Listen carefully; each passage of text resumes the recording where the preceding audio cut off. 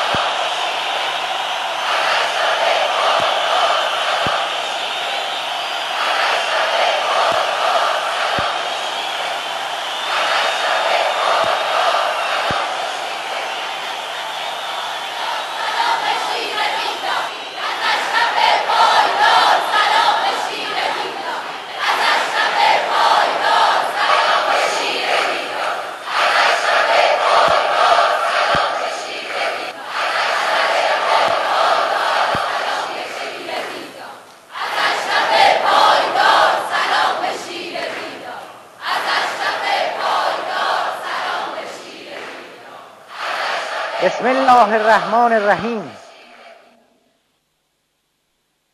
یسبح لله ما فی السماوات و ما فی الارض.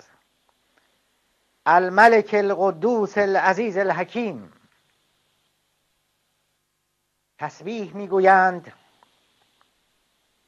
و روان و شناورند آسمان ها و زمین. به جانب مالک و حاکم مطلق پاک و پاکیزه و دانا و پیروزمند. هو الذی بعث فی الامیین رسولا منهم. یتلو علیهم آیاته و یزکیهم و یعلمهم الکتاب و الحکمه و این کانوا من قبل لفی ضلال مبین.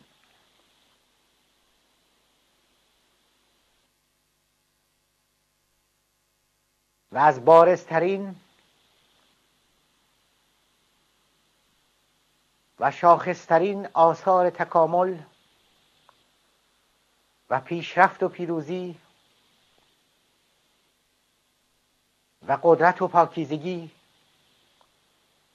و حکمت همین خداست که در میان بیسوادان و ناآگاهان فرستاده و پیام آوری از جنس و سنخ خود اونها فرستاد. یتلو علیهم آیاته.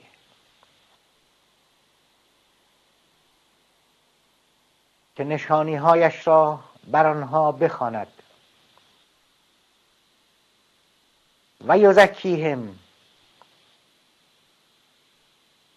و پاکشان سازد. و آنگاه یعلمهم الکتاب و الحکمه. بیاموزد به آنها کتاب را کتاب آفرینش و تکامل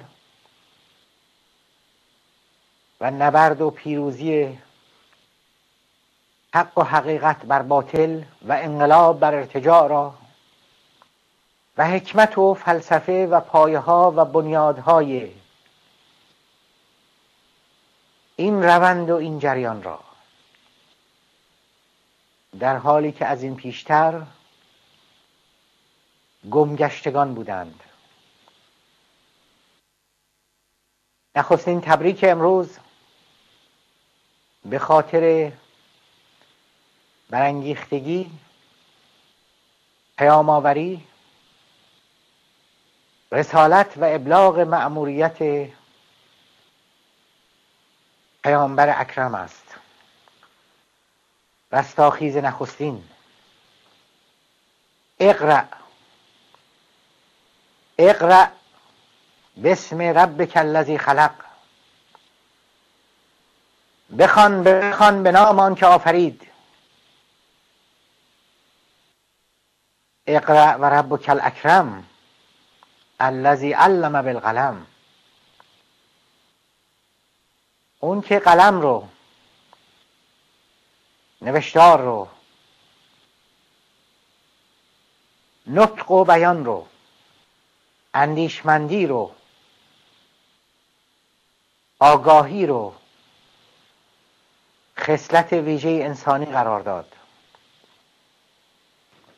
و بعد او رو در برابر آزمایش های مختلف قرار داد. تا ببیند که تقیان و سرکشی پیشه می کند یا به مسیر تقوا تقوای رهایی بخش. به مسیر آزادی یا تکامل می رود در ایدولوژی انقلابی توحید پس از اصل نخستین اصل یگانگی و یکسویی و سمت و سوی واحد هستی و تکامل. اصل بعدی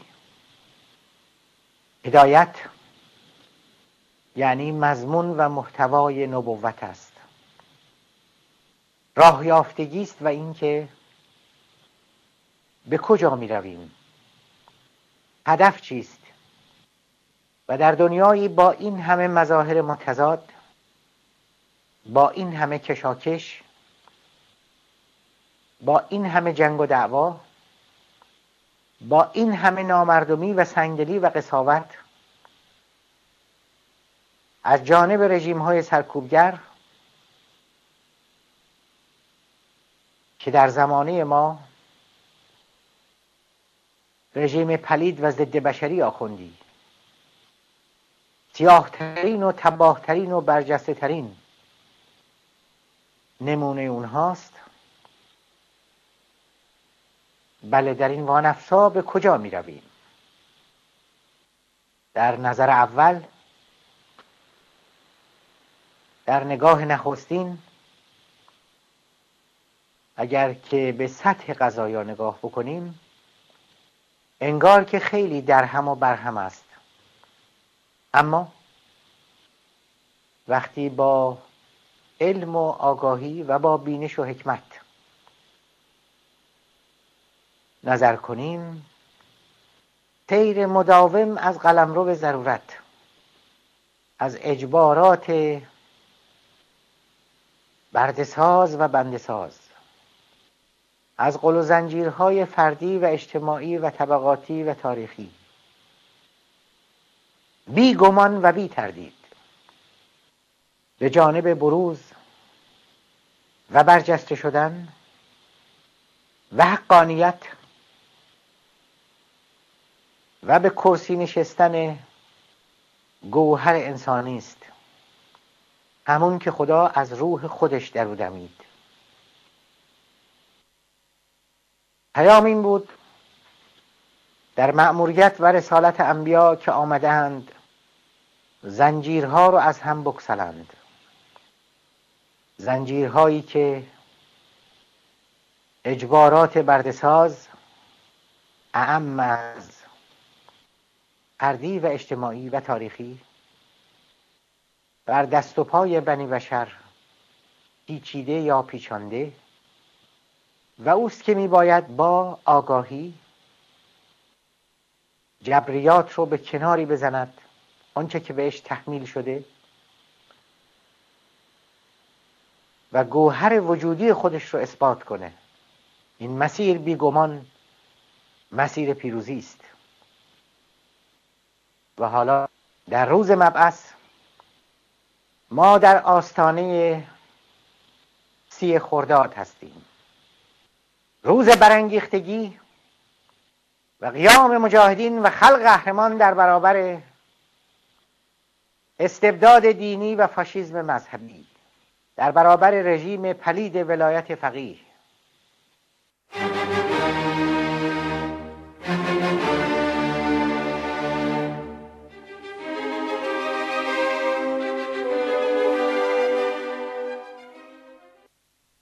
نام خدا و به نام خلق قهرمان ایران.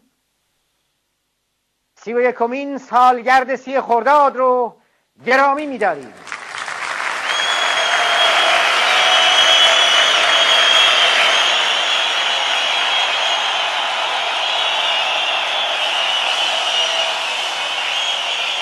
روز شهیدان و زندانیان سیاسی سالگرد تأسیس ارتش آزادی بخش ملی و روز روزهای مجاهدین. روز مریم رهایی در انقلاب ایدولوژیک در سال 1364 همزمان با عملیات پیروزمند چلچراغ و فتح شهر مهران و ریختن جام زهر به حلقوم خمینی ضد بشر و گل گرفتن در تنور جنگی جنگ ضد میهنی. پس امروز روز روزهای مجاهدین و به موازات رود خروشان خون شهیدان با جویباری از تبریکات است. بر همگی بر مجاهدین و مقاومت ایران و بر خلق قهرمان در میهن اسیر گرامی و مبارک باد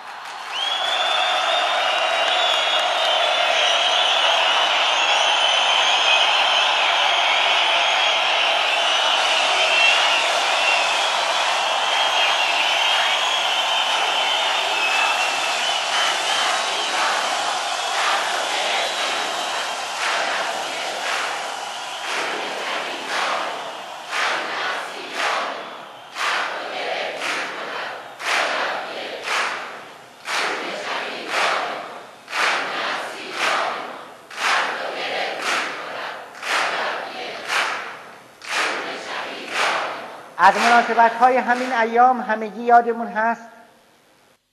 کودتای سیاه و ننگین 17 جوان رو در سال 1382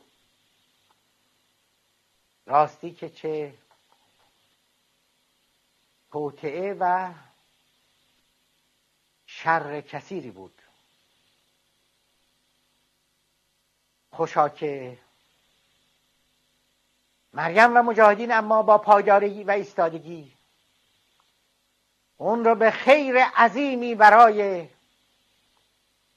مردم و مقاومت ایران تبدیل کردند. با جانبازی و پاکباختگی سلام بر صدیقه و ندا. عشقهای شعلور و فروزان. سلام بر ذبح عظیم ملت ایران. در آستان فرشته آزادی. سلام بر شهیدان و مجاهدان صدیق. از اشرف و موسی تا جاودان و فروغ ها بله مجاهدین این هستند.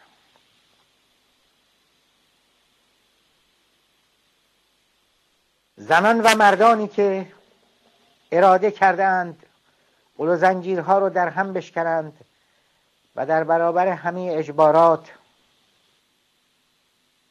در سخت و استوار گردن فراز باقی بمانند و هر چقدر که شرایط هم سختتر بشه اونها بیشتر و بالاتر برافروزند. به یاد کهکشان شهیدان از روز سی خرداد تا همین امروز. به پا میخیزیم قیام می‌کنیم و یک دقیقه کف مستمر می‌زنیم.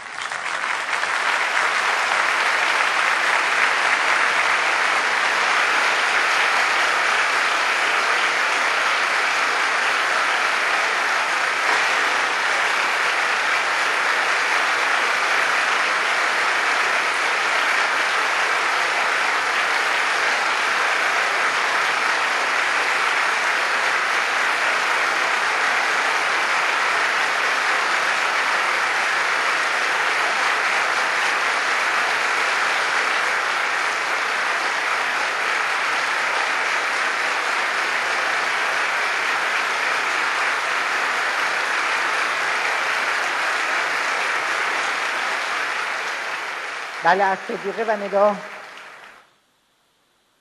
تا شهدای قیام. در سال 88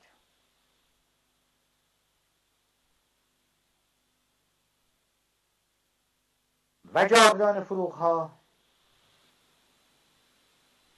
و تاریخچه سی و یک ساله ایستادگی و مقاومت انقلابی در برابر رژیم آخوندی. فقط می‌توان در یک جمله گفت که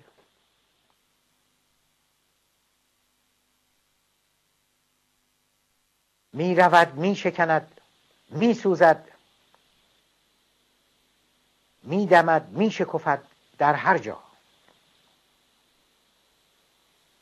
و این مسیری است تا قله پیروزی و سرنگونی رژیم ضد بشری آخوندی.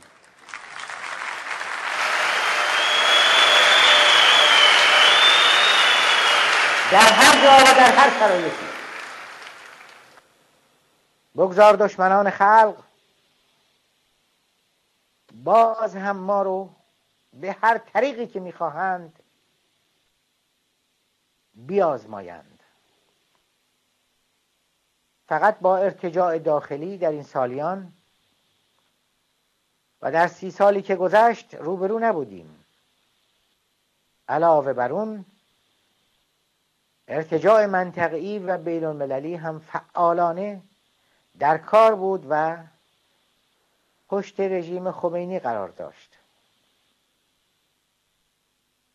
از دوازده دولتی که بر سرمون ریختند.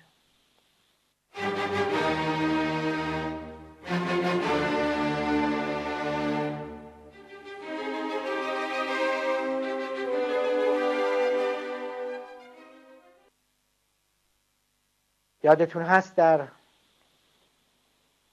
دی ماه گذشته اون وکیل برجسته فرانسوی گفت که مجاهدان و ساکنان اشرف بدون اینکه خودشون خواسته باشند به سمبل های مبارزه برای بشریت تبدیل شدند. En nous battant pour la communauté d'Ashraf, nous nous battons pour le droit. En nous battant pour la communauté d'Ashraf, nous nous battons à côté de la communauté internationale pour que les droits de l'homme soient respectés. Ils sont en quelque sorte devenus, malgré eux, un symbole d'une bataille pour l'humanité tout entière.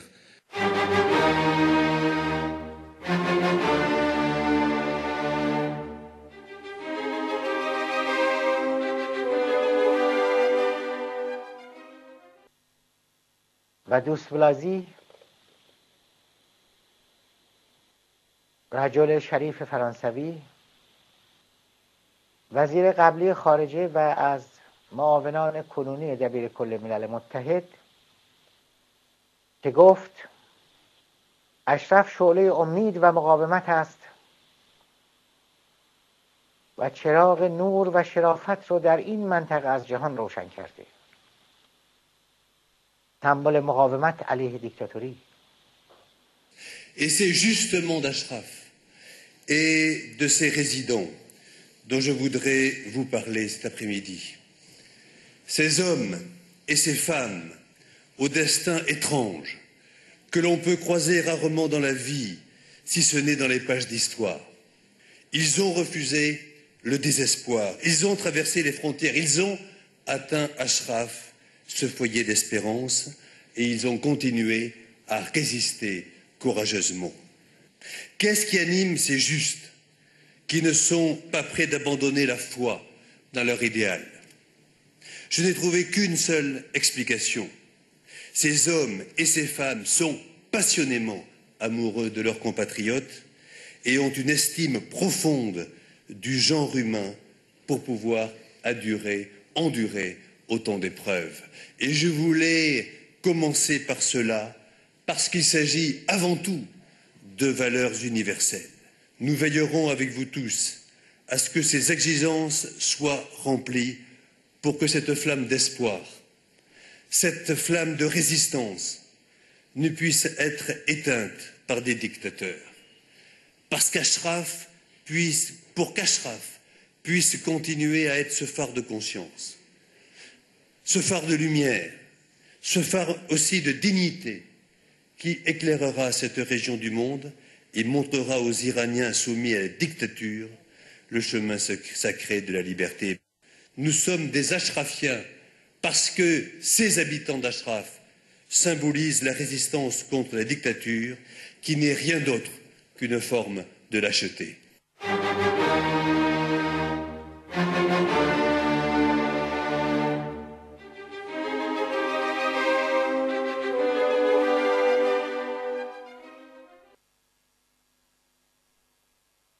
شخصیت دیگر لاش ریسه که گفت در چهره های شما ناجیان واقعی ملت ایران را می‌بیند. سرمایه‌ای نه فقط برای مردم ایران بلکه برای مردم این منطقه از جهان. And I'm very honored that in my life I had this experience to meet with you who are there now in Ashraf and that I got to know such champions as you.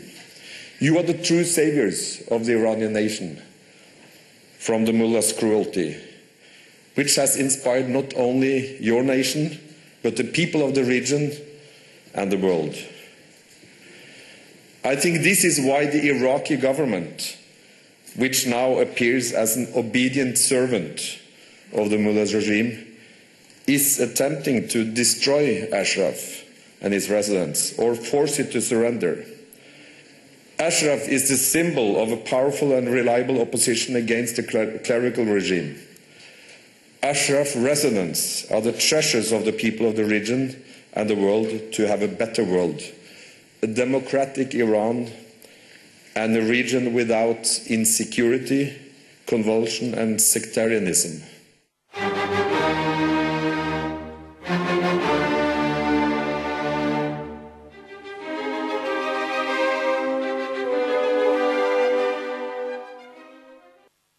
و اون شخصیت آمریکایی ترنت فرانکس که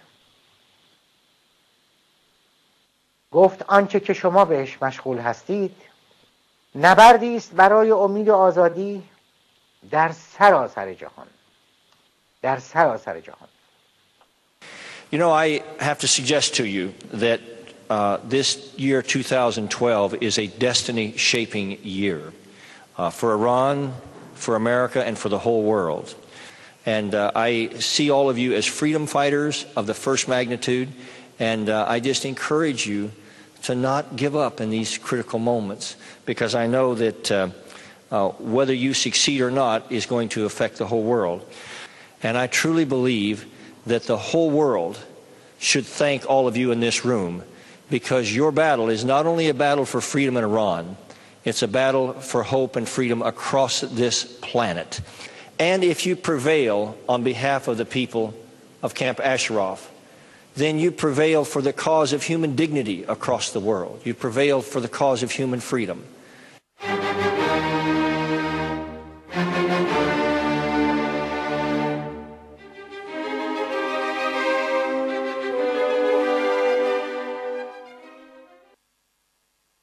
یا اون خانم پروفسور آمریکایی که گفت آینده عراق، سوریه، لبنان و خاورمیانه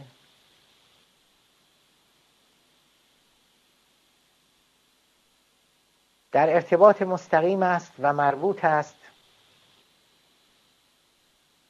به موضوعی که در اشرف جریان دارد و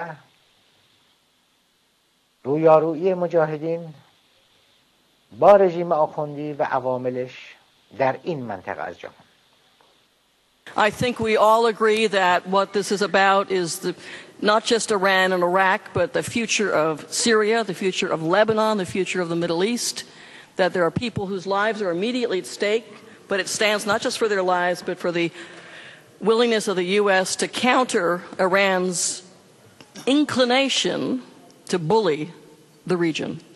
And if we stand down on this one, how shall we say, what signal does that send about the Iranian bomb? Iran with the bomb will do whatever the hell it wants.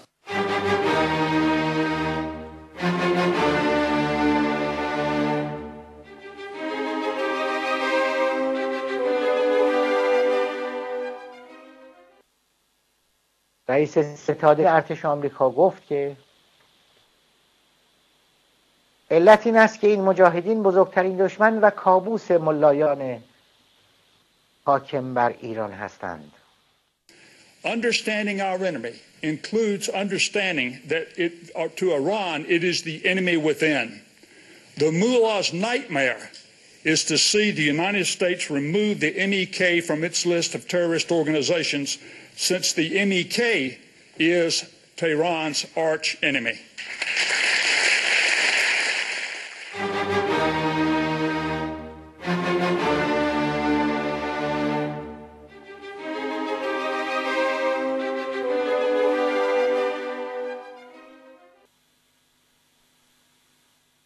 و اون فیلسوف فرانسوی که گفت موضوع اشرف و مجاهدین علاوه بر خودشون شاخص برد و باخت آمریکاست در عراق Est-ce que les États-Unis ont gagné la guerre d'Irak ou est-ce qu'ils l'ont perdue Eh bien, une des réponses, ça sera Ashraf.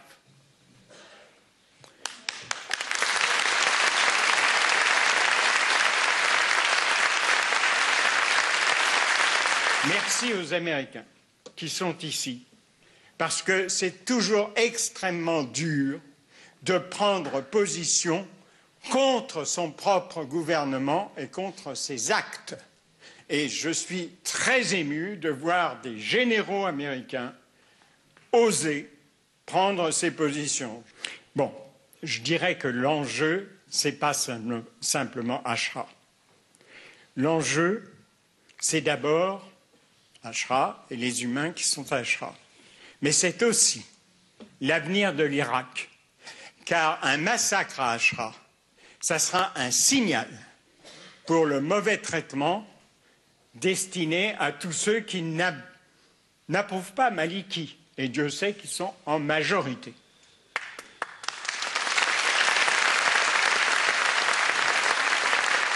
Premier enjeu, l'Irak. Deuxième enjeu, c'est l'enjeu de la paix mondiale. Il est bien évident que accepter les mauvais traitements, les massacres, les tortures, la police contre Ashraf, c'est donner un signe beaucoup trop gentil, beaucoup trop complaisant à la théocratie iranienne. C'est-à-dire, nous laissons Maliki tuer à Ashraf ou dans le, camp de la liberté, eh bien, allez-y, faites votre bombe atomique. Dernière chose, c'est aussi l'honneur de la démocratie. On dit maintenant Maliki est le chef, est un gouvernement, donc c'est son affaire. Et nous, alors nous les Américains, nous les Européens, nous nous lavons les mains. Or ça, cela veut dire que la souveraineté nationale est au-dessus de tout. La souveraineté nationale est au-dessus des lois, est au-dessus des droits de l'homme. Cette affirmation-là, elle est extrêmement dangereuse. En 1933, il y a des gens à Genève qui ont dit Mais attention, vous, les Allemands, Hitler venait d'être au pouvoir, vous traitez extrêmement mal les syndicalistes, les juifs, les communistes, les catholiques, les libéraux, ça fait beaucoup. Et la réponse allemande a été charbonnier et maître chez soi. Si nous laissons Maliki être maître chez soi, nous mettons à la poubelle la déclaration mondiale internationale des droits de l'homme qui dit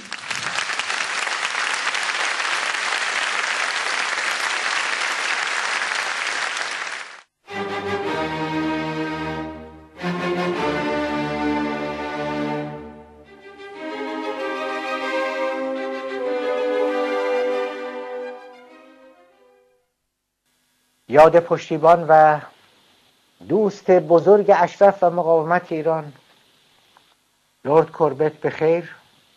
و همچنین دوست بزرگ دیگری که به تازگی با این مقاومت در کنار مریم و اشرف جامعه رستگاری و علو طبع انسانی به تن کرد.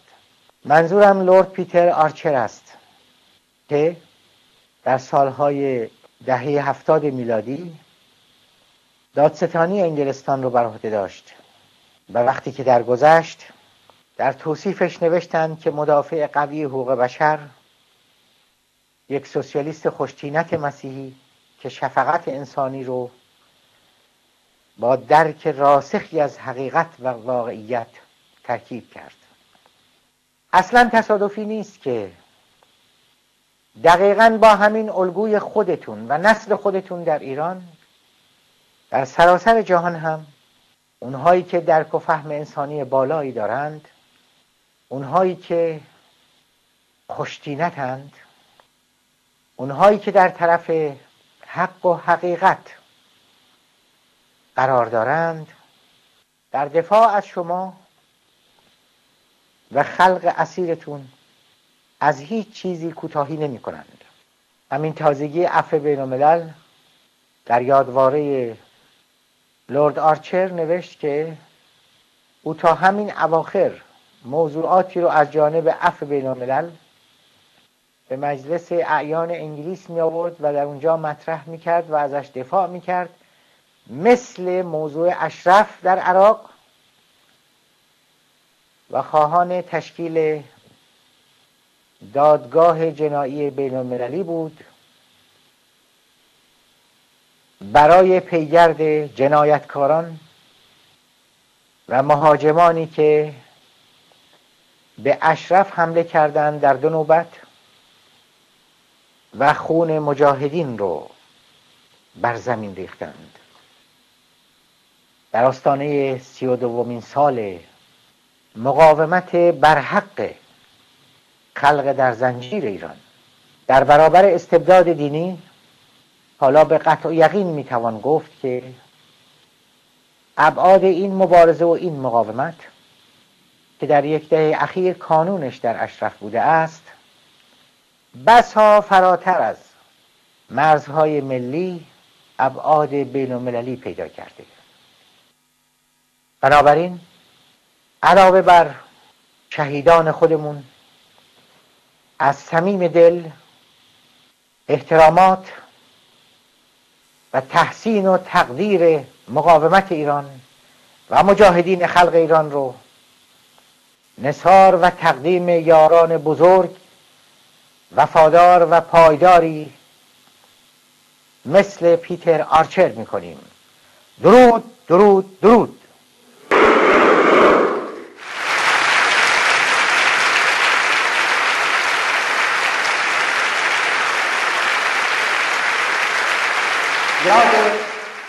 لورد کوربت به خیر که اینن مشابه لورد آرچر از بیمارستان هم در حالت کهولت و بیماری و در حالت کما در گزارشی که خوندم نوشته بود هرگاه به هوش می آمدند از اشرف میپرسیدند و مجاهدان اشرف در لیبرتی.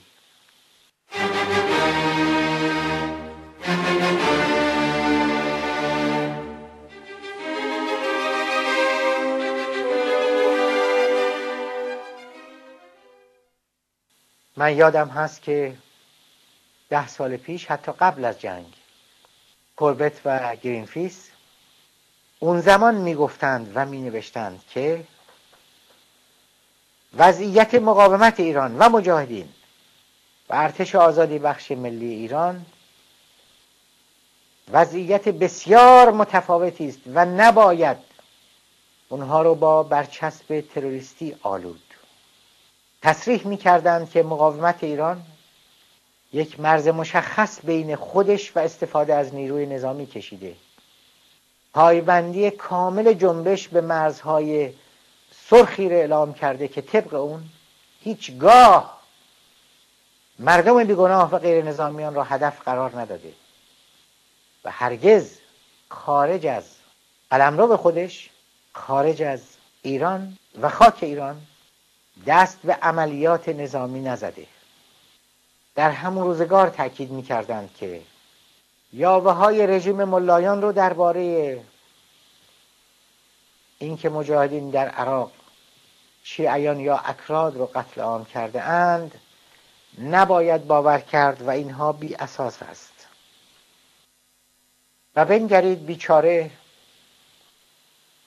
رژیم و سرانگشتان و مزدوران و پشتیبانانش رو که گمان می‌کنند و تبلیغ می‌کنند که گویا می‌توان کسانی مانند لورد کوربت و لورد آرچر رو که مظاهر وجدانهای بیدار بشریت امروز در اروپا و آمریکا هستند اینها رو می‌توان خرید. اون هم با پول ناچیز مجاهدین که کمترین تحرکشون و کمترین درآمد و داراییشون از هر سو زیر کنترل و دوربین بوده است.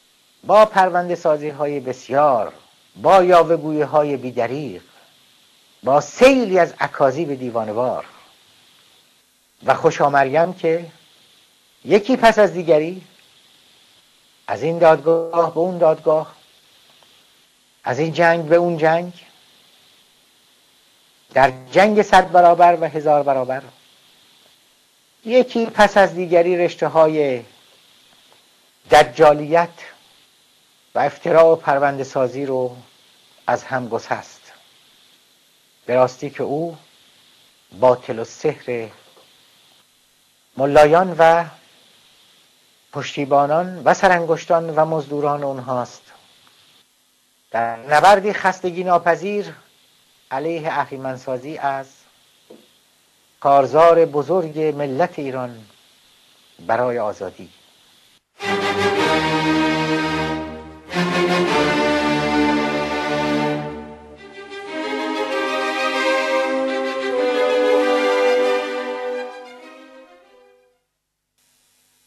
راستی نمی‌دانم که با مناسبت هایی که در آستانه سی خرداد هر سال به اون می‌رسیم از کجای اون باید گفت؟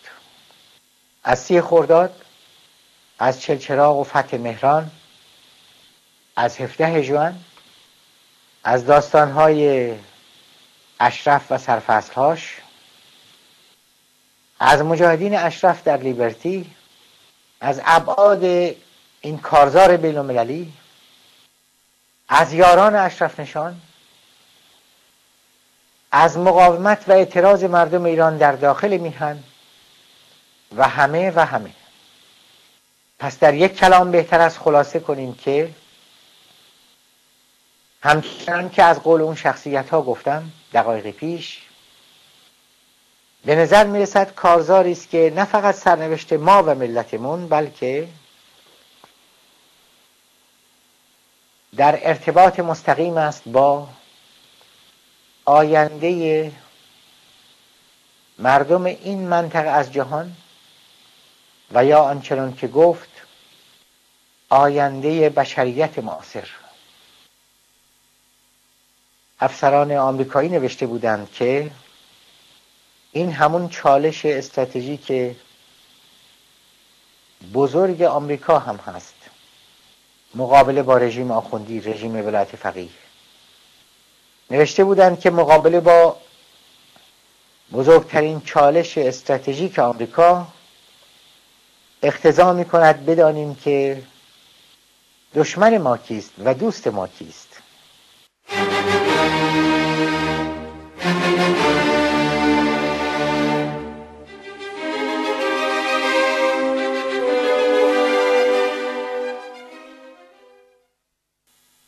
می‌خواهم بگویم که در آستانه سی و دومین سال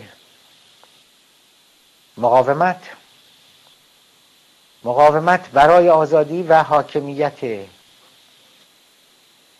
مردم در ایران به جای استبداد دینی موضوع ابعادش بسا فراتر از مرزهای خودمون رفته است. و خوشا مجاهدینی که این بار بزرگ و سنگین این رسالت و مأموریت سرفراز تاریخی رو در پنج دهه از زمان شاه تا شیخ در سختترین و بغرنجترین شرایط تا امروز دوام آوردند قوام آوردند و به سوی پیروزی پیش بردند. با همه درد و رنجش با بهای سنگین و خونینش. جنگی که پیوسته ابعادی بیشتر و بالاتر پیدا می‌کنه. پس برمیگردم باز هم به رود خروشان خون شهیدان در پرتو مهرتابان که زامن پیروزی محتوم خلق ماست.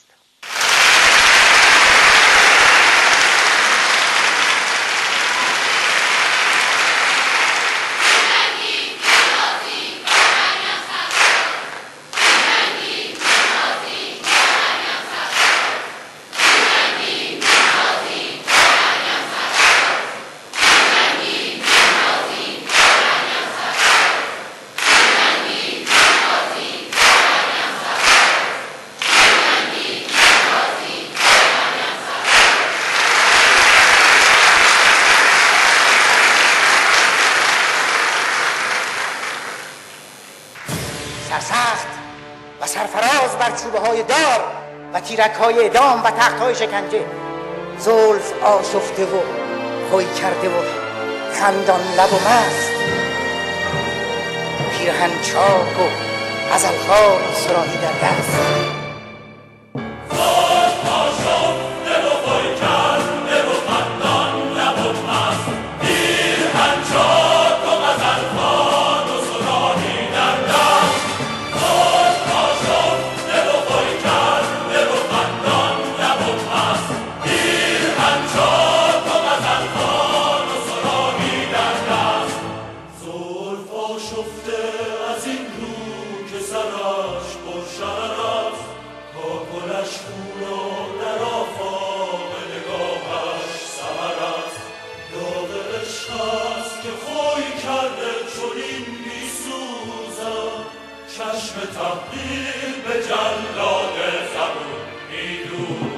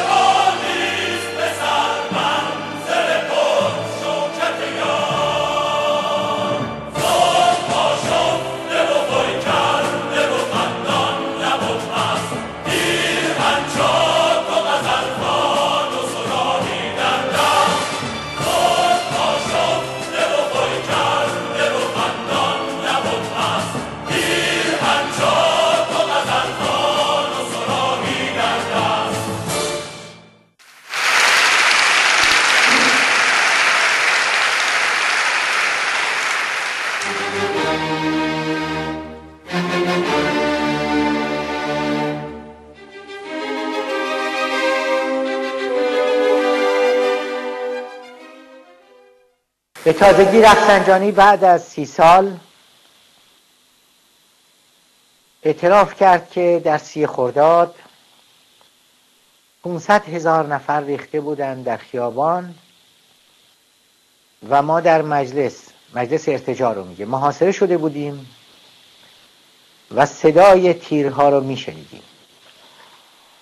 البته منظورش صدای تیرهایی است که ارتجاع بر سر و سینه مجاهدین می نشاند چون هر کس که کمترین اطلاعی از عملکرد مجاهدین در اون سالیان در برابر خمینی دزد بزرگ قرن داشته باشه همین مجاهدین مجاهدینی که حالا رفسنجانی از جنگ مسلحانه شدید اونها در اون سالیان. در تهران و در سراسر ایران صحبت می‌کنه. همه اتمام حجت ها رو گام به گام از فردای 22 بهمن تا سی خرداد انجام دادند. احتیاجی نیست که قسم آیه بخوریم که ما خواهان زندگی مسالمت آمیز بودیم. این که جزء بدیهیاته مگر کسی هست که خواهان زندگی مسالمت آمیز نباشه؟ جز سرکوبگران جز جنایتکاران جز تاغوت های زمان؟ خمینی بود که جنگ رو نعمت الهی می‌دونست. هشت سال جنگ ضد میهنی با عراق با شعار قدس از طریق کربلا. با اون همه قربانی و کشته و زخمی و خسارت. پس نیازی نیست که بحث و فصل و جدل زیادی بکنیم در این باره که مجاهدین چه می‌گفتند و چه می‌خواستند. اطلاعیه ها هست موضع گیری ها هست. در مقاله های نشریه مجاهد هست که ولایت فقیه نه حاکمیت مردم. آخوند سالاری نه حاکمیت مردم. رأی مردم. ما با روحانیت مبارزمان هشداری تاریخی دادیم. هشداری که بیگمان از عمق زمیر تمام شهدا برمیخیزد. مسئله بر سر عملکرد تاریخی روحانیت شیعه و سرنوشت آن است. در پس پرده ولایت فقیه حقیقت این است که روحانیت شیعه برای نخستین بار پس از هزار و چندصد سال به حاکمیت سیاسی نزدیک شده است. مجاهدین بودند که بسات شیادی و دجالیت تحت نام دین و اسلام رو در هم ریختند. برای همین بود که خمینی می‌گفت که دشمن که آمریکا و روس و انگلیس نیست. دشمن اینجاست و در تهران نشسته و همین منافقین هستند. و این علا رقم همه دجالگری ها و نعره های استکباریش بود. وقتی که کارت به استخون می رسید خمینی حرف اصلی رو بالا می آورد و به زبان خودش می گفت پس مجاهدین همه کار کردند تا حیات مسالمت آمیز سیاسی بعد از انقلاب ضد سلطنتی ادامه پیدا کنند اما افسوس که بهار آزادی بسیار زود گذر بود. رهبری انقلاب رو ارتجاع دزدیده بود. مثل همین امروز مثل همین سالها که در عراق و اشرف هم در برابر مالکی انعطافی نبود که ما به خرج نداده باشیم. اتمام حجتی نبود که انجام ندهیم. به خمینی نوشتیم من خودم نوشتم که بفرمایید این سلاح های ما اگر از سلاح های ما میترسید اگر مسئله تو سلاح های ماست. بفرمایید. واقعیت این بود که بسا بیشتر از سلاح های مجاهدین او از آرمان و اعتقاد و از ایدئولوژی مجاهدین میترسید. در برابر اون مثل برف در آفتاب تموز آب می شده از بین می رفت بسیار هم می ترسید و بنابراین باید با لجن پراکنی بی انتها و زنجیری با مجاهدین مقابله می کرد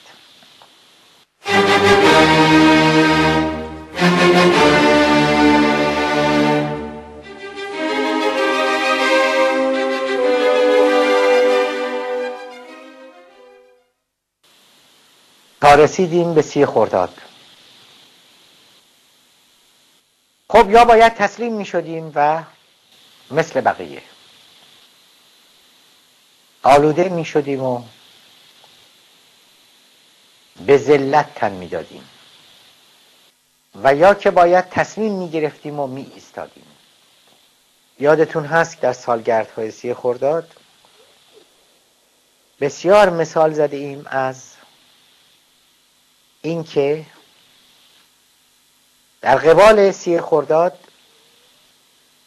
دو نگاه دو روی کرد دو برخورد کاملا متفاوت و متعارض وجود داره.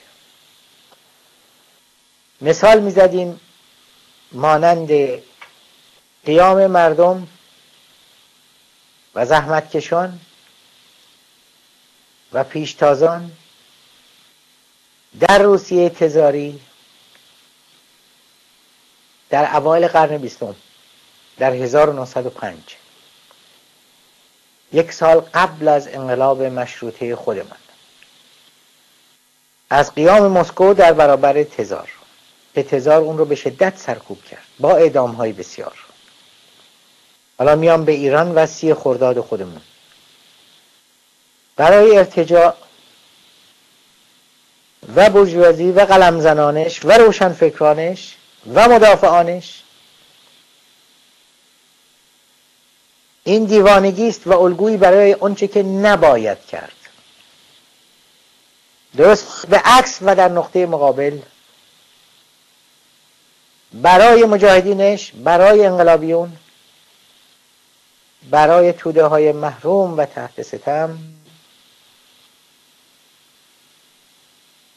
برای اونهایی که پرچم هیهات حسینی به دست گرفته اند این سرمشقی است و الگویی از آنچه که باید کرد.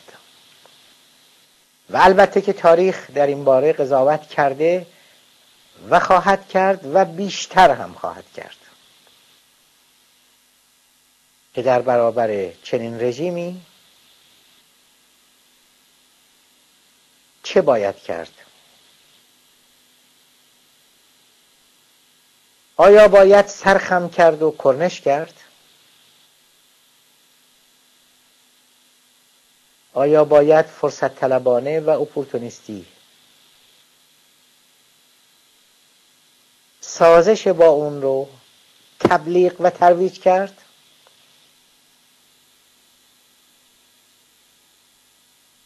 آیا باید کناره گرفت؟ یا باید مثل مجاهدین با تمام توش و توان و با عزم حد اکثر و جنگ صد برابر به هر قیمتی وارد شد و با او در افتاد کدام یک؟ کدام درسته؟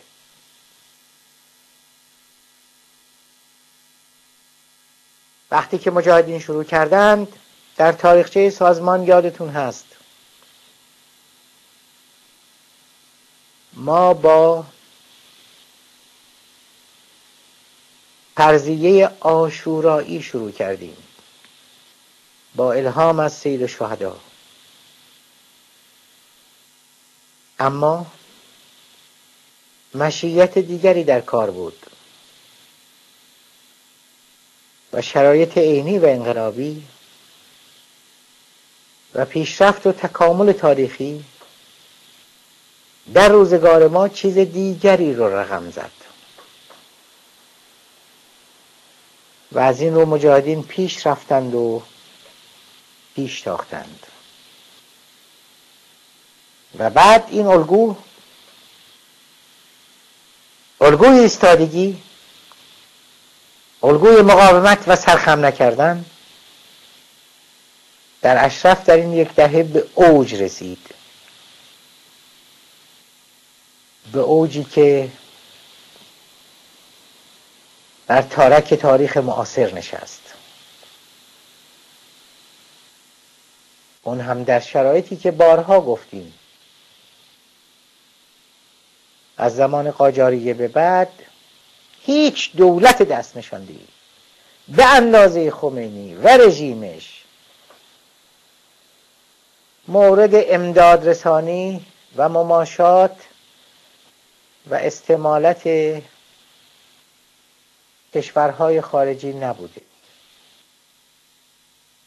نمونهش هفته جوان. آخوندهای وطن فروش. تیرهای نفت رو باز می‌کنند و نفتخاران در این سو و آن سوی جهان. فرصت رو مقتنم میشمارند. از طرفی تروریسم و بنیادگرایی و صدور ارتجاع هم که خصلت های ویژه این رژیم است وجود دارد و محصول و حاصل جمع اینها با یکدیگر می شود همین برچسب های ننگین و شرماور تروریستی علیه آزادی و حاکمیت مردم ایران. به سود فاشیسم دینی. اما در سی خورداد صف خمینی و ضد خمینی برای همیشه از هم جدا شد. شاخص و خط سرخی که بین خلق و مجاهدین خلق و مقاومت خلق با مهیبترین نیروی ارتجاعی تاریخ ایران ترسیم شد.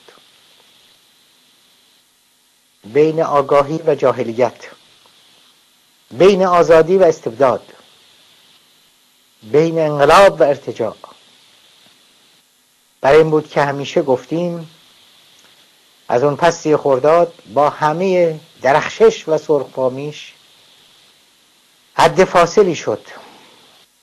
مرزی عبور ناپذیر و از اون پس هم دیدیم به مدت سی یک سال تجربه شد. که مدعیان چگونه یکی پس از دیگری وا رفتند و زوب شدند و نیست و محو و نابود شدند. و آنچه باقی موند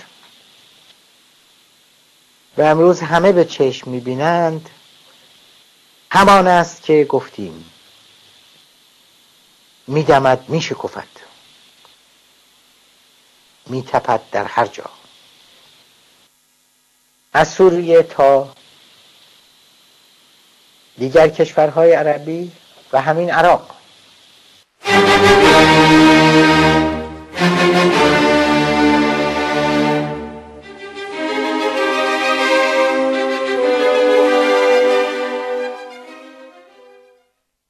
هفت سال بعد بعد از سی خورداد درست در همین روز و در همین ساعت شما در شهر مهران بودید. ما می گفتیم که این جنگ ضد میهنی است. این جنگ اجتناب پذیره و بود از اول خمینی بود که می‌خواست انقلابش رو صادر کنه. تا وقتی که نیروهای عراقی در خاک ما بودند مجاهدین باشون می جنگیدند البته خمینی و بسیجیاش هم از پشت به ما تیراندازی می‌کردند. وارد جزئیات نمی‌خواهم بشوم چون زیاد گفته شده و نوشته شده. که بهشتی می‌گفت بهتر است ما خوزستان را از دست بدهیم تا اینکه مجاهدین روی کار بیایند و قدرتمون رو در تهران از دست بدهیم. برای این تا بخواهید هشت سال خمینی بر تبل جنگ میکوبید و تنور جنگ میتابید. در سال هشتاد بود که سرکرده سپاه اصفهان گفت فقط ما در استان اصفهان در این جنگ بیشتر از صد هزار نفر کشته دادیم. فقط در استان اصفهان. فرمانده نیروی زمینی ارتش تحت امر خمینی هم گفته بود که یک قلم فقط از نیروی زمینی ارتش ما 48 هزار کشته داشتیم. سرکرده قرارگاه ضد سارالله رژیم هم سپاه پاسداران گفت فقط ما از این قرارگاه سی هزار کشته و شست هزار معلول داشتیم. یه سال قبلش پاسدار رحیم صفوی سرکرده سپاه گفت جمع کشته و معلول ما در سپاه 533 هزار نفر بود. راستی هدف از این جنگ چه بود؟ همان هدفی که امروز آخوندها از به دست آوردن سلاح اتمی دارند. اول بار رفسنجانی بعد از مرگ خمینی گفت که اتمی زامن بقای ماست. بقای رژیم آخوندی در قدرت.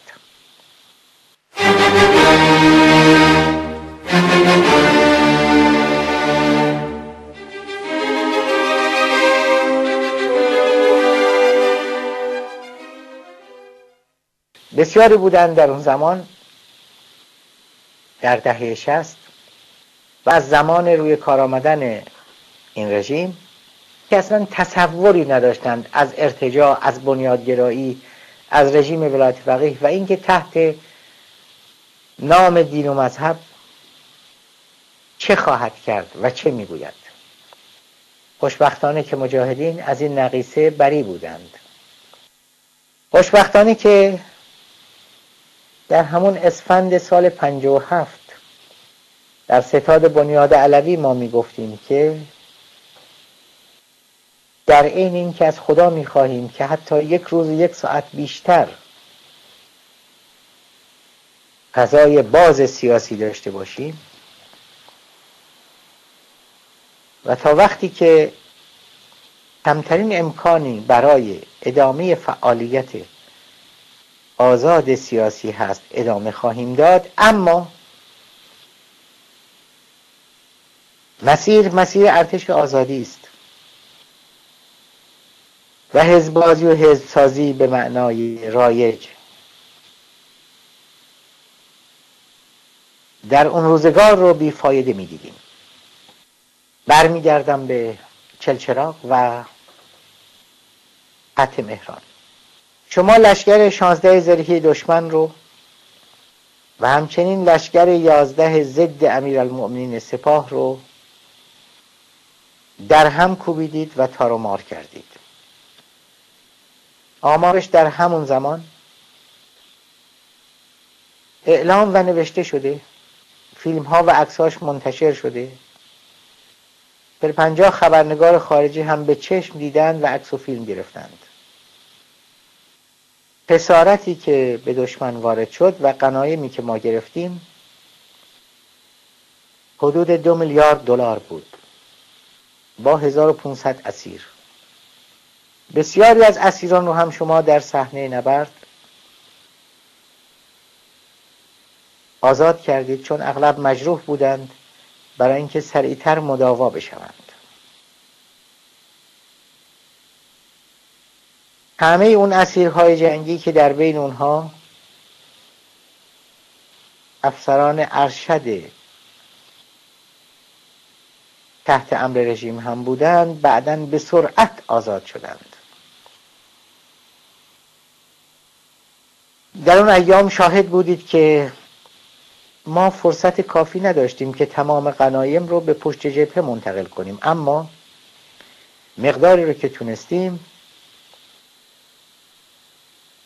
181 تانک و توپ و زره پوش بود. صدها خودرو. و نزدیک به 600 خمپاره انداز و دستگاه موشک انداز و موشک های مختلف سام هفت و مالیوتکا کاتیوشا و مینی کاتیوشا. بی خود نبود که خمینی زهر خورد. به واقع می ترسید که امروز مهران و فردا تهران باشد. با فضیحت بی آبرویی رو در تمامیتش خرید تا رژیمش ادامه پیدا کند. تازگی یکی از افسران آمریکایی مسئول حفاظت از اشرف می‌گفت که چنان که پخش شد از تلویزیون و دیدیم می‌پرسید از خود آمریکایی ها که راستی ما این سلاح ها رو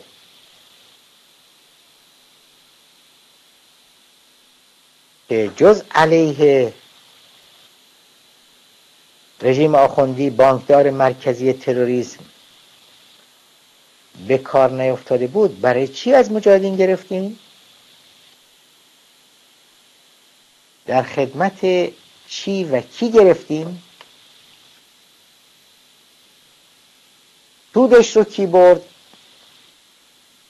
زیانش رو کی برد؟ جواب البته بسیار روشن است این تماما به سود آخوندها و فاشیسم دینی بود. فاشیسم امام پیچ. و تماما علیه مردم و آزادی مردم ایران. تماما به سود تروریسم و ارتجاع و بنیادگرایی بود. افسر آمریکایی گفت که ارتش آزادی بخش فقط یک هدف داشت. درگیری مستقیم با رژیم ایران و نه هیچ کس دیگه. و این ارتش مأموریت دیگری نداشت.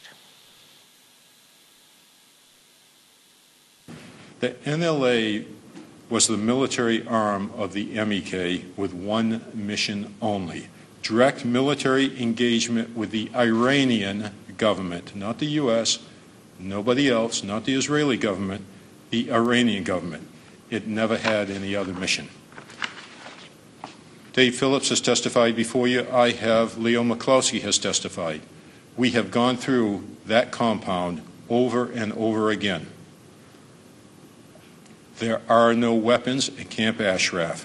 And to suggest that the word of the corrupt Iraqi government is to be taken over the American officers who serve there is nothing short of despicable.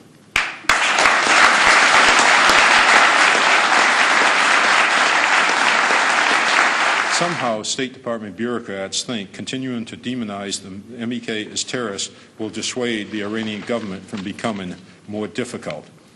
It is time to stop appeasing the fundamentalist government of Iran and start supporting humanity.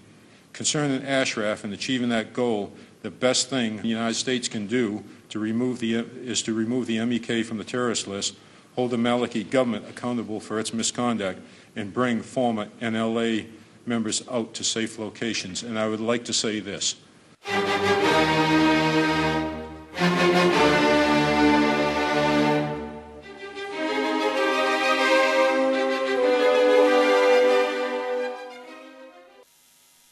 برای در انقلاب مشروطه هم فرای روس و انگلیس خواهان قلع سلاح مجاهدان مشروطه بودند. اما حالا شرایط به کلی متفاوت است. ما با مجاهدین مواجه هستیم و با مقاومت ایران و با مردم ایران. و با تنفر و خشمی لبریز علیه رژیم آخوندی.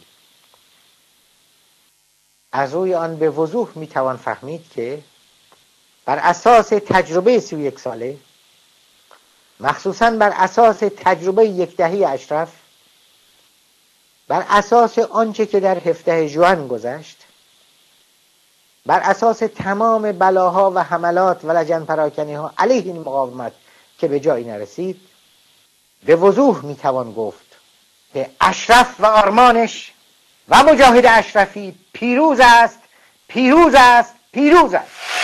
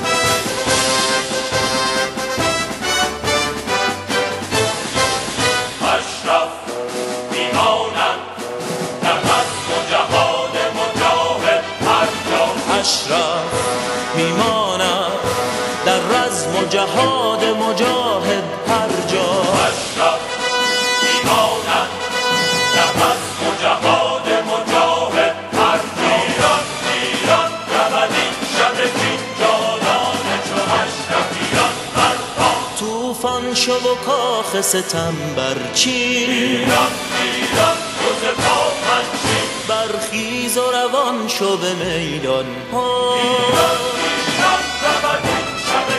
جانان چو اشرفیان برها جانان چو اشرفیان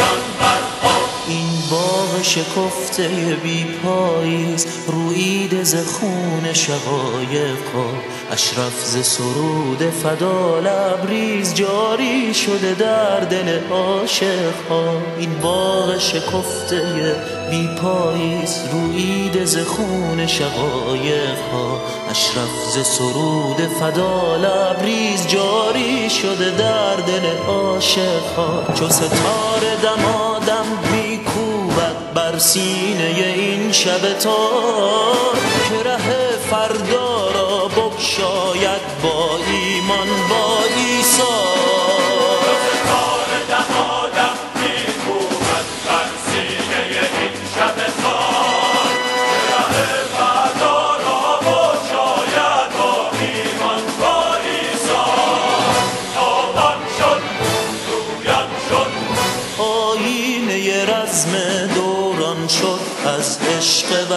وطن سرشار اشرف میمانم در رسم و جهاد مجاهد هر جا. اشرف میمانم در رزم و جهاد مجاهد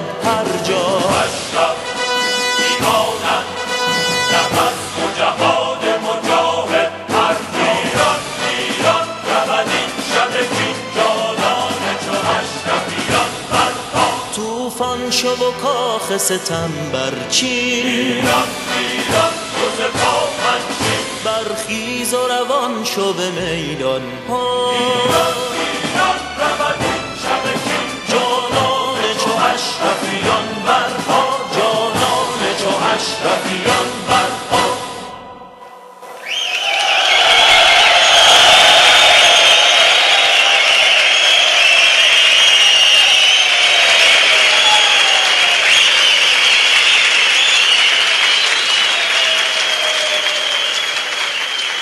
بله به همین خاطر بود که در نشست قبلی گفتیم که در سرآغاز سی و دومین سال مقاومت تاریخی و سرفراز مردم ایران برای رهایی از ستم آخوندی پیام در یک کلام عبارت است از اینکه مرگ بر اصل ولایت فقیه زنده باد ارتش آزادی و گفتیم که به جوانان خشمگین میهن و به تمام مردم ایران بگویید مرگ بر اصل ولایت فقیه زنده باد ارتش آزادی تا رستگار شوید.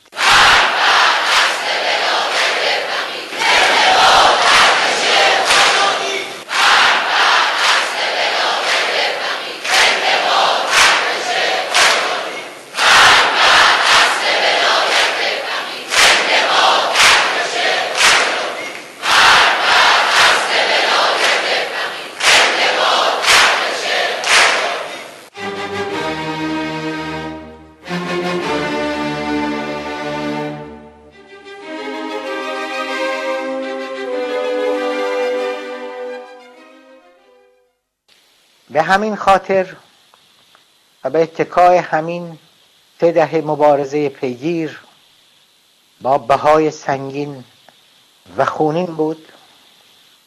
همون که خمینی خوب می شناخت و گفت اگر یک در هزار از این بابت در مجاهدین شکافی می‌دید و امکان کوتاه آمدن و سرخم کردن حاضر بود که با آنها کنار بیاید.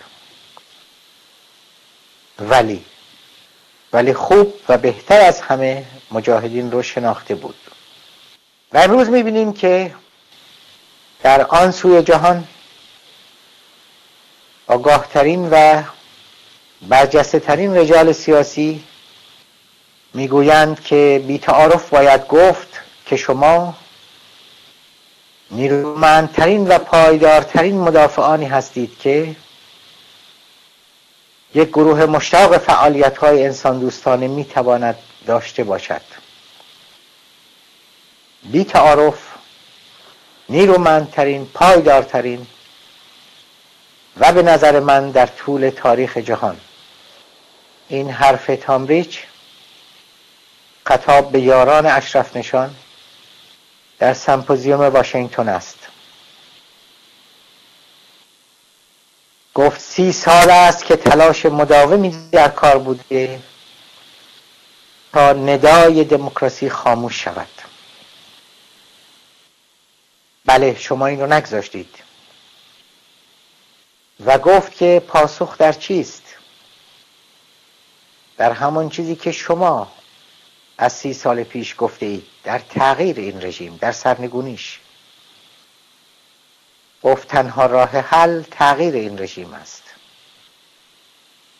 در قلب این تلاش به باور همه ما به رسمیت شناختن اپوزیسیون دموکراتیک قرار دارد. و ما فقط اینجا هستیم که پیام و امید و آرمانی رو که شما مدت طولانی در قلوب و افکار خودتون داشته اید تکرار کنیم. But frankly, uh, you are the strongest, most resilient advocates that any group seeking humanitarian relief has ever had, my judgment, in the history of the world. And we know that story. Since 1979, over 120,000. And the estimates are 80 or 90 percent were members of the MEK. It's been a continuous, sustained effort to deny the voices of democracy. Gone well over almost 30, over 30 years.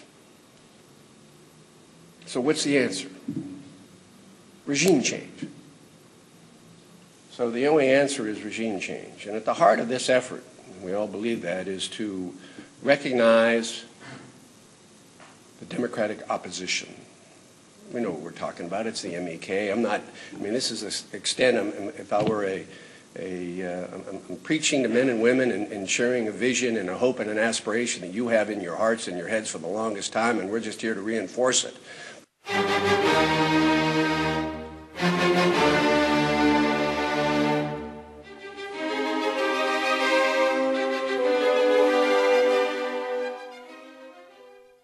و پاتریک کندی که گفت چرا رژیم ایران می‌خواد که مجاهدین در لیست تروریستی باقی بمونند چون که اونها مجاهدین رو تهدید مرگبار حیات خودشون رژیم خودشون در ایران می‌دونند. We have labeled the main opposition to Tehran the MEK as the terrorist group. While we negotiate with the real terrorists, and those are the mullahs in Tehran.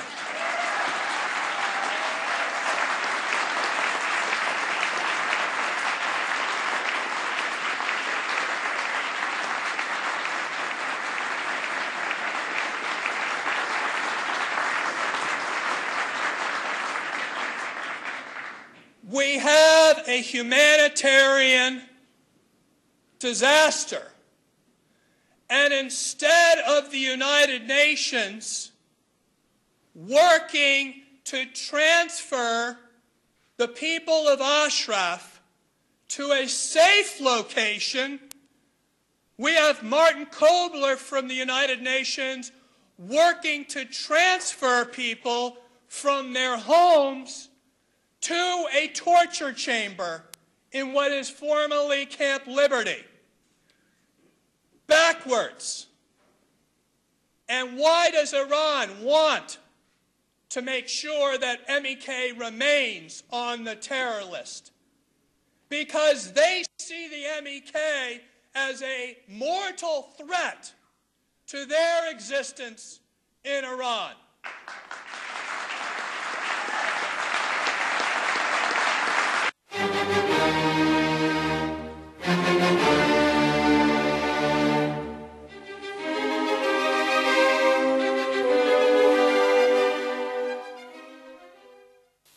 فرماندار رندل که گفت زمان این فرا رسیده که بیستیم زمان این که دولت آمریکا هم ایستادگی پیشه کند. می‌خواهم بگویم که از همه حرفها و اشارات به روشنی برمیاد که شما توانستید حقانیت سرنگونی و تغییر این رژیم رو به طور جهانی به ثبت برسانید I was thinking about what I was going to say today, and I have some substantive things I want to say to you. But this is all about two agencies that I have tremendous, or two institutions that I have tremendous respect for, not being willing to show the courage of their convictions and do the right thing. And that's the United Nations and the United States of America. Two institutions that I grew up believing were the hope of the world. And in both cases, the U.S. and the UN have not done the right thing by the residents of Camp Ashraf. They have not.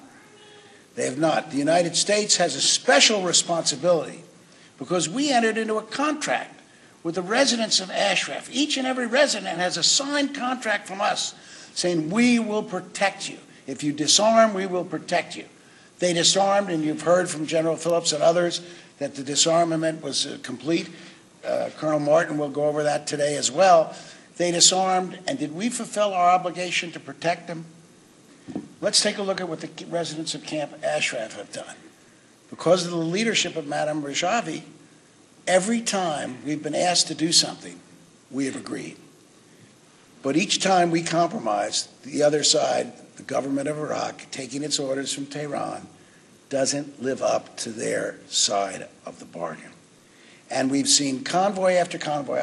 We've heard from the State Department, let's just get this convoy moving and, and then we'll deal with those problems after this convoy is going. Because if we don't get this convoy moving, something bad could happen. That's what we always hear. Something bad could happen. So we're asked to compromise. They're never asked to live up to their side of the bargain. We're not sending the sixth convoy. Because if we send the sixth convoy and then the last convoy, and everybody's in liberty, we lose any remaining leverage we have. So the time for us to stand, and the time for the U.S. government to take a stand, and the time for the United Nations to take a stand and enforce that MOU and tell the government of, of Iraq that it must comply, that time is now. There's no time for uh, excuses. Because look at what's happened here. The Iraqi government has been harassing, they've been mean, and they've been cruel for no purpose of their own, not to save money, not for any strategic or security reasons. Consider some of the things that have happened since we've been in this process of relocating residents from Ashraf to Liberty. Number one, when the vehicles arrive in Liberty, we're not allowed to use forklifts to take the heavy material off. That would be easy. Instead, the residents have to painstakingly carry it off by hand. Why wouldn't they let us use forklifts? How is that going to endanger the security of the Republic of Iraq? How is that going to cost them money? We were willing to pay for the forklifts ourselves. It's just mean and cruel. Anything you can think of that the government of Iraq benefits by that, other than just being mean and cruel and harassing and doing the bidding of, the, uh, of Tehran? Maybe they want a lot of the residents to throw up their hands and say, all right, I'll go back to Iran then and that would suit the purposes of the regime in Tehran for whatever reason.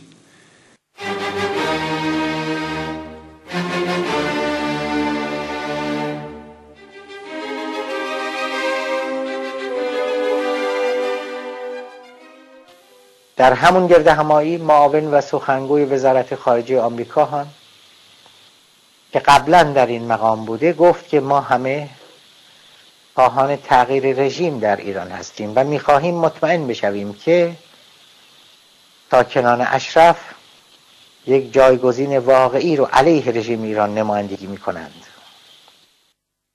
Now, as the State Department said yesterday, uh, we, we, we see in this horrible act the impact of Iran, which actually bragged about the technical support it has provided to Syria to be able to resist the clear and compelling will of an ever expanding segment of the Syrian people. But I continue to believe a year later that, that, we, that it is still inevitable as was said earlier, that real change will come, and real change will come to a country like Iran, uh, where the people will have not only real politics, which actually, as you know, do exist in Iran, but a real choice as well, which does not happen today. Uh, we all want regime change uh, in Iran, so salient to, uh, to all of us, to see the people of Ashraf who represent a real alternative uh, you know, to the current regime in Iran, that they are able to leave Iraq safely.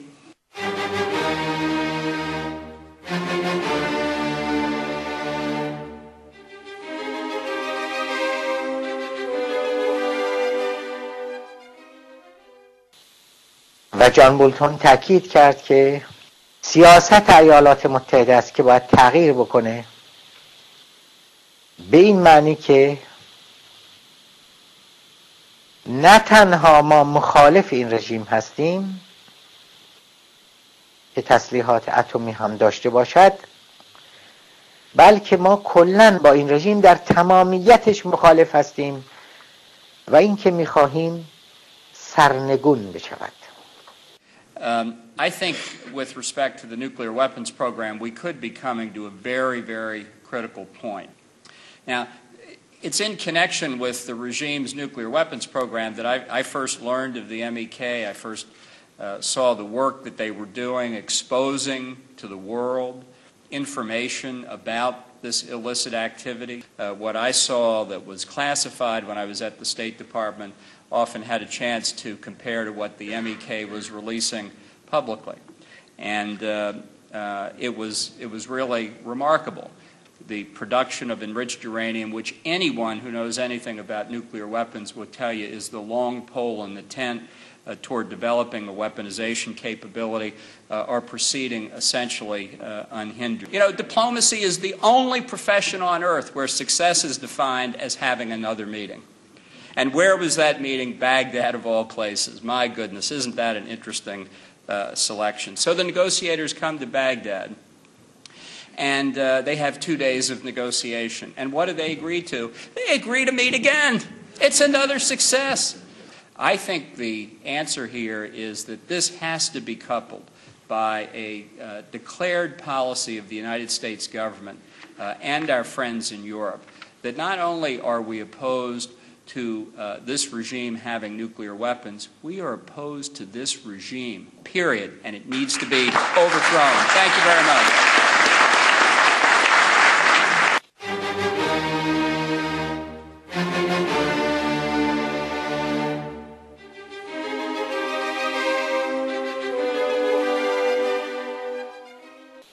پس حقانیت و ضرورت سرنگونی حالا در همه جا به ثبت رسیده. روزگاری بود که در درون این رژیم به دنبال الटरناتیو و جایگزینی میگشتند. حالا پروفسور شیهان رئیس بخش مذاکرات در دانشگاه بالتیمور است که می‌گوید سازمان مجاهدین خلق ایران باید رسما از لیست وزارت خارجه خارج شود و این مقاومت به عنوان یک آلترناتیو سیاسی در مقابل حکام سرکوبگر تهران شناخته شود. و می‌گوید که صدای شما باعث شده که صدای مجاهدین خلق به عنوان صدای مقاومت شنیده شود. صدای شما باعث شده که چنین حمایت دو حزبی به دست بیاید. که بر این اعتقاد است رژیم فعلی ایران نامشروع است و به تعهدات آن نمی‌توان اعتماد کرد. صدای شما باعث شده که مقاومت شجاع و محترم ایران و ارزش هایی که نمایندگی می کند به رسمیت شناخته شود. All of the panelists agreed that MEK's current designation as a terrorist group was the naive result of an effort to curry favor by then President Clinton with the Iranian government, and that the designation should be challenged and ultimately overturned. All of the guests agreed that the failure to protect the refugees at Camp Ashraf and Camp Liberty, constitutes the worst broken promise and an injustice that must be made right. And all of the guests agreed that, to use a phrase made uh, uh famous by uh, President Kennedy, MEK stands on the right side uh, of history. The right side of history. Against clerical rule, against proxy violence, against state sponsored terrorism, and against the mistreatment of women.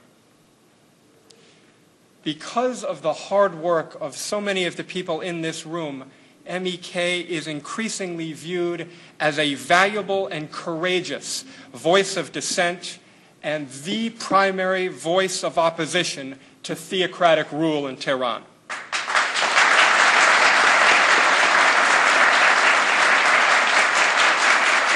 MEK should be formally removed from the U.S. Department of State's foreign terrorist organization list and recast as the political alternative to theocratic rule in Tehran.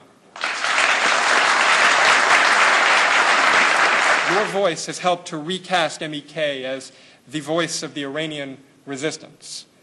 Your voice has led to this bipartisan recognition that the existing government in Iran is an illegitimate partner whose commitments cannot be honored. And your voice has led to the growing recognition of the brave and honorable Iranian opposition and all that they stand for. بله این صدای اشرف و مجاهدان اشرفی و صدای خلق در زنجیر ایران است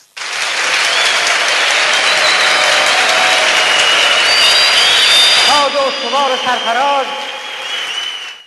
در آستانه سی و دومین سال به واقع که مبارک و گرامی است.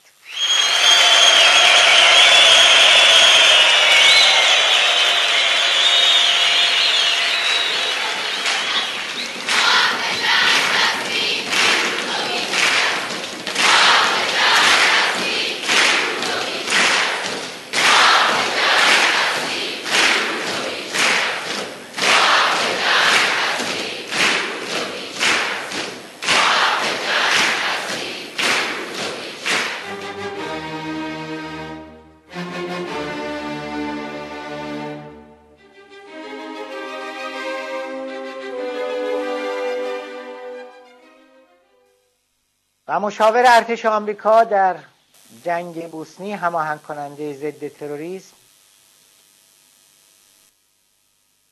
گفت که وقتی که من کتاب شهدا رو می‌بینم یک کتاب قطور و سنگین. با یادآوری 120 هزار کسانی که توسط این رژیم کشته شدند به قتل رسیدند یا تیربارون شدند حرفم بسیار مختصر و مفید است. حرفم این است که شما تمرکزتون روی این است که این حاکمان ناشایست ایران که به چنین جنایت هایی دست می‌زنند شما می‌خواهید اینها رو از میان بردارید و سرنگون کنید. می‌خواهید از عریکه قدرت پایین بکشید.